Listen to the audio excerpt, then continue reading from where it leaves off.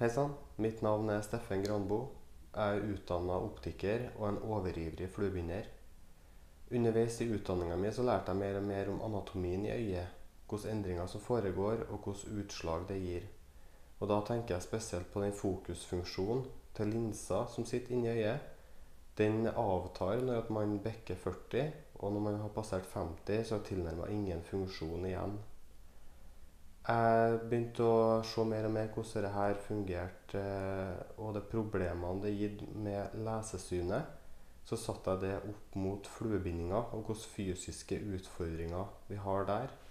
Og da skjønte jeg at her er det et stort potensial til å finne en optimal brilleløsning til fluebindinga. Per i dag så finnes det to løsninger til fluebinding som man får tak i. Det ene er ei ren lesebrille. Den kan man jo få justert inn så den er klar på 30 cm i stedet for 40 som man normalt sett får. Når man setter på seg den, så vil du jo ha fullt fokus på flua når du binder. For det blir jo rett avstand ut fra nesen. Men tvert at man skal se rundt seg på fluebindepulten, så vil jo alt være helt uklart. Og det vil være vanskelig å skille de små detaljene på flubbindematerialene. Det samme gjelder hvis du har en reolløsning òg, så vil den være veldig uklar. Da det blir vanskelig å skille materialene nedi skuffene, rett og slett. Den andre løsninga som kanskje mange over 40 år har, det er ei progressiv brille. Hvis man bruker den til fluebindinga, så er man jo avhengig av å bruke den nedre delen av glasset, som er lesefeltet, for å se klart på flua. Men lesefeltet i progressiv brille, den er ofte justert inn på 40 cm. Noe som blir for lang avstand, så at flua ikke er helt optimal. Og da må man litt tilbake med hodet, og så må man se helt nederst i glasset. Så må man stive av nakken og ryggen. Og når man sitter for langt unna da, så må man også strekke skuldrene fram. Og det gir totalt sett en dårlig ergonomi. Og når øynene ser nedover såpass skrått som de gjør her, så vil også dybdesynet reduseres. Og det er vi ganske avhengig av å ha bra når vi skal lage små hoder, og du har svart råd f.eks. på et allerede svart hode, så blir det vanskelig å se forskjellene der. Og den delen øverst i glasset, den vil jo da være litt bedre når man skal se utover på pulten. Men da må man også senke ned nakken, og så opp med hånda for å så få tak i materialene. Og her og når man skal se ned i skuffene, så vil det også bli litt for sterkt med den styrken som du har nederst i glasset. Herre her er jo de problemene som jeg har løst i en progressiv fluebindebrille. Glassene mine, de har to hovedsoner.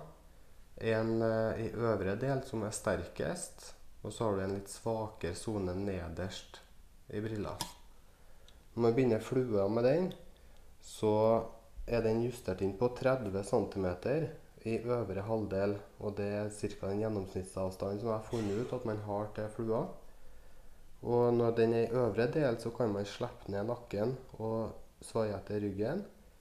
Og når man har 30 cm òg, så kan skuldrene være i en helt vanlig vinkel pga. lengden. Og når øynene ser rett fram her nå, så vil fokuset og dybdesynet være mest avslappende og best mulig. I nedre halvdel på glasset så har jeg justert inn så det er klart på rundt 80 cm, 80-90 centimeter. Og det er for at da kan du vippe opp haka litt, og da ser du hele fluebindepulten din. Normalt sett så er armlengden òg mellom 60-70 cm, Og da har du alltid en 10 cm å gå på utom fingerspissene dine.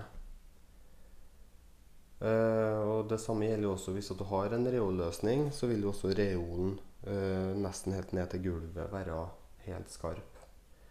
Dette her er jo både en synsmessig og fysisk ergonomi som er god å ha når man har ei lang ei lang bindeøkt, er det. Eh, jeg vil også presisere at dette her er ikke ei brille som erstatter eventuelt den eh, progressivbrilla du har i dag, eller ei lesebrille. Eh, så dette er ei spesialbrille til fluebinding, rett og slett. Hvis du syns at dette her hørtes interessant ut, så er du avhengig av å ha en oppdatert synstest. Enten så kan du bestille den til meg i Trondheimsområdet, eller så kan du gå til din lokale optiker, og så ber du bare om et kopi på brilleseddelen som jeg får tilsendt, og så spesialtilpasser jeg styrkene ut ifra den synstesten. For uh, enda mer informasjon eller eventuelt bestilling, så går du inn på clearflytying.com.